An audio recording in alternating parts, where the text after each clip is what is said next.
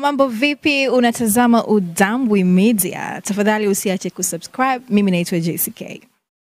Kauli ambayo ameitoa huyu Juliana Cherera kama Saumu alivyokuwa na anatufahamisha hapa kwamba wanasema wameendesha mchakato um, ambao umekwenda kwa uzuri kabisa. Changamoto zilikuwepo, lakini wakaweza kuzitafutia ufumbuzi e, na kila mara walikuwa wanatoa taarifa kwa vyombo vya habari kuhusu kile ambacho kinaendelea, na Wakenya walikuwa wanafahamishwa kile ambacho kilikuwa kinaendelea.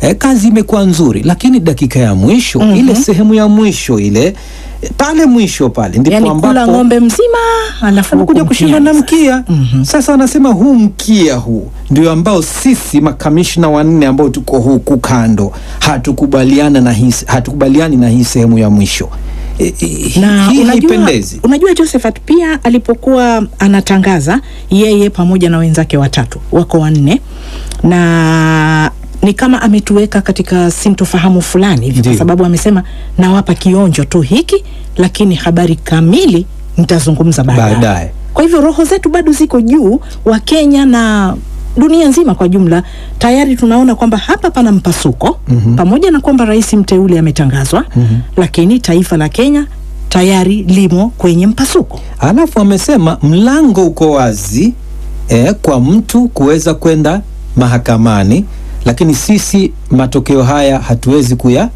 kusema kwamba tunayaunga mkono, lakini wamesema kwamba watatoa taarifa zaidi. Haya, William Samoei Ruto kuwa rais mteule e, wa tano wa Kenya mm -hmm. Zainab, ndio. Tumekuwa na mzee Jomo Kenyatta, Daniel Arap Moi, Mwai Emilio Kibaki, Uhuru, Uhuru Kenyatta, Kenyatta. na sasa, na sasa ni tunampata kijana. William Samoei Ruto, mwenyewe anasema ni hasla Hustler Nation.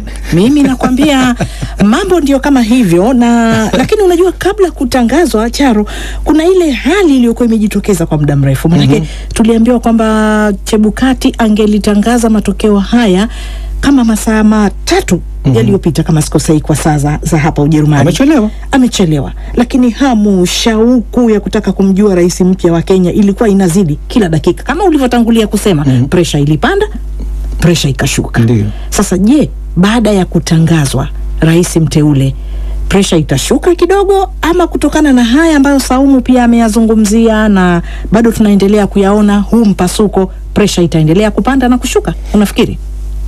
Ni vigumu kubashiri kitakachotokea, lakini kwa ustaarabu ambao nimeushuhudia katika kampeni na mchakato mzima wa uchaguzi, nadhani kwamba Wakenya watakuwa na subra na watayapokea matokeo haya. Tunaye rais sasa mteule uh, William Ruto kwa unawaona Udangwe Media. Usisahau kusubscribe ili mambo yaende sawa sawa. Unabonyeza pale kake, nani kale ka subscribe kakengele ngaranganja na kenyoka kanasema ngaranganja Udangwe Media.